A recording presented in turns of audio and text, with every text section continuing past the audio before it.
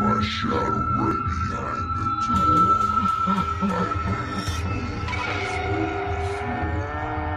Let me remind you why you once feared the dark. I'll be that shadow that moves in the night. That monster under your bed is really me.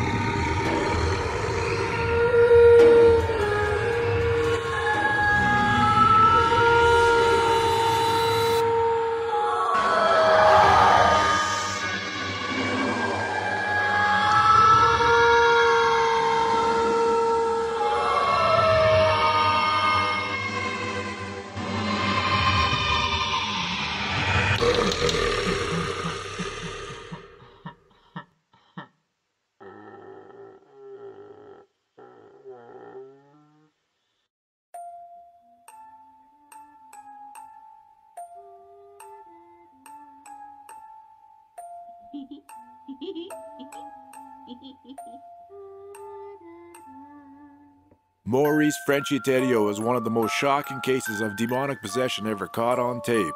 Like most cases of demonic possession, this case begins with a person who unwittingly invited forces into his life. Forces of the evil kind. Maurice Theriault's childhood was not a good one.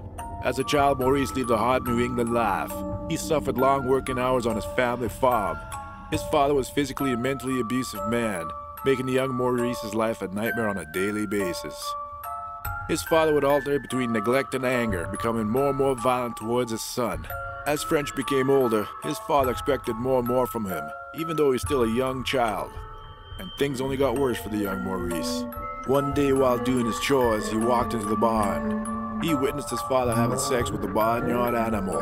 Frenchy stood there in shock and horror. His father laughed and flew into a drunken rage and beat the child to within an inch of his life. Frenchy was then forced to participate in acts of bestiality with his father. Maurice endured this forced sexuality for years. His father would sit there and drink his alcohol and masturbate, while he watched Maurice have sex with the animals.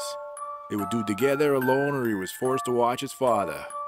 Talk about father of the year. Frenchy's dad told the young Maurice that he was possessed by Satan, and that Satan was after him too, and he would soon have control of the young Frenchy too. Frenchy was terrified. After one of his forced barnyard sessions, Morris ran out of the barn and fell to his knees. He broke down into tears and looked up to the sky. Frenchy began to ask for help. He looked up to the heavens through tears. He began calling upon to anyone who was listening to help him. Little did he know that he was heard, but they weren't from heaven.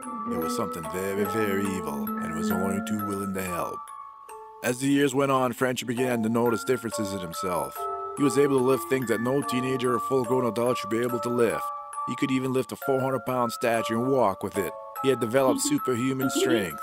He also had knowledge of things he had not learned in school. He could even speak and read other languages at will. He eventually was forced to quit school to work full time on the farm with his father. It was a living hell for the young Frenchy. His father worked him to the bone and would tell him he was useless. He tried to join the army when he became of age, but his attempt was foiled by his father. Maurice was finally able to escape, but the circumstances that led to his freedom weren't a good one. One day in a drunken rage, Maurice's father shot his mother and then committed suicide. Maurice left the house and floated around New England for years, doing different jobs and suffering through several relationships. He was a lost young man. He eventually settled down in Warren, Massachusetts, and married a woman named Nancy. He and his wife settled into the life of tomato farmers. Despite years of abuse at the hands of his father, Morris was known as the nicest man, a man that wouldn't harm a fly. But the demons that heard his cries for help that day finally made themselves known. In the spring of 1985, the town noticed the first signs of something unusual going on with Frenchy. He turned his guns into the sheriff and asked him not to give them back. At the farm, they suffered unexplained terrors. Blood would appear in and around the house, and sometimes on Frenchy. His unusual strength continued. Finally would hear voices when there was no one around, and things would move throughout the house and farm. Frenchy would drift away and lose chunks of the day. He would wake up in the middle of the night, stare at his wife. She woke up to him once, sitting there staring at her with the eyes of a madman. Maurice Theriault began claiming he was possessed by the demons that were driving him to repeat the crimes of his father. This terrified his wife Nancy, because she knew her father murdered her mother and committed suicide. Things started escalating quickly. Before long, Morris was beating Nancy. His voice would change sometimes, sounding unearthly and non human. He also threatened to kill his children and grandchildren. The most disturbing activity involved the appearance of another Frenchy. He would be in one room and then appear outside another. His wife would try to follow him. He would be gone, and she would find him in the other room he was originally in, unmoved and unaware. He wondered why his wife thought he was leaving the room and playing tricks on her. This sometimes happened in view of other people. The witnesses could see both men within seconds of each other. Fires broke out on the property, eventually bringing the family to the attention of the local police. After another fire broke out, a neighbor called the police, and upon getting to the Theriault residence, they found Nancy Theriault nervous and crying. Police asked what was going on. Maurice Theriault walked into the room, and the police froze in fear. He seen Frenchy bleeding from his eyes. Father Boyer was called, who went to the home and witnessed all the strange happenings. He suspected that Frenchy was possessed, but first he had Frenchy physically and psychologically examined. These tests failed to bring a solution to the situation. He then contacted his bishop to inform him of what he had found, that Frenchy was still bleeding from his eyes, but the bishop did nothing. The poltergeist activity in the house got worse. Father Boy then contacted famed demonologists Ed and Lorraine Warren to investigate. Warrens were gaining popularity as investigators of the paranormal. They had already worked on several famous cases, the most known being the Amityville horror case in New York. Ed Warren was classified as the only lay demonologist in the country. They brought their team in and witnessed dozens of examples of the evil presence, and the longer they stayed, the more intense the experiences became. The poltergeist activity even followed members back to their houses. The activity ranged from low-level poltergeist activity to physical attacks. All the team members, even the non-believers, found themselves involved in the poltergeist activity. They would suffer through uncharacteristic mood changes, they could feel the evil in the air. Frenchy's attempt to turn to God for help only resulted in more physical attacks.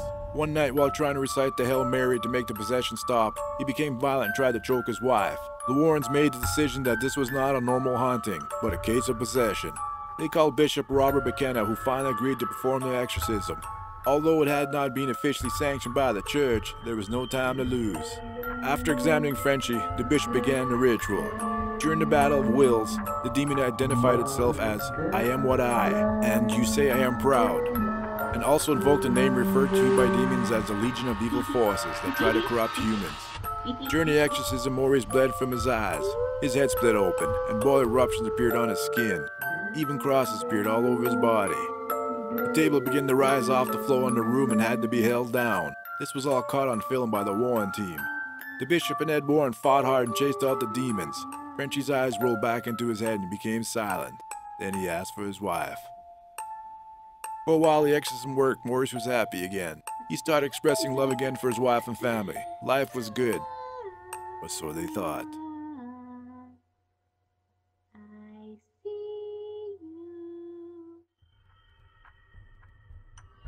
Seven years later, in 1992, Nancy called Ed Warren with an ominous message.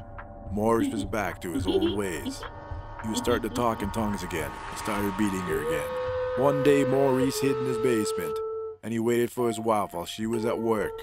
When she got home, he called her downstairs. He then pointed a shotgun at her. The demons had taken over and they kept saying, Be your father, be your father.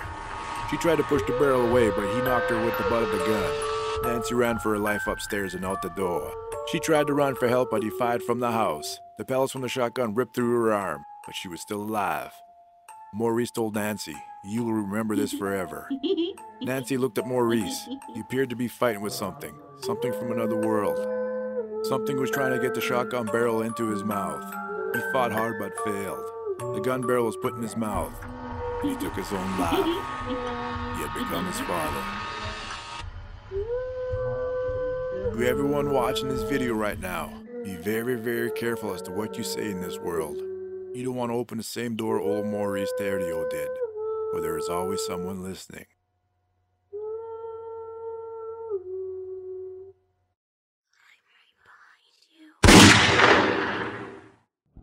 Welcome to my channel. This is Mr. Scary. Hope you enjoy the show.